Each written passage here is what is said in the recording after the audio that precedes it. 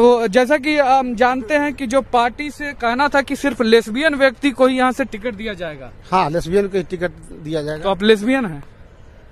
हाँ। म्यूज़िक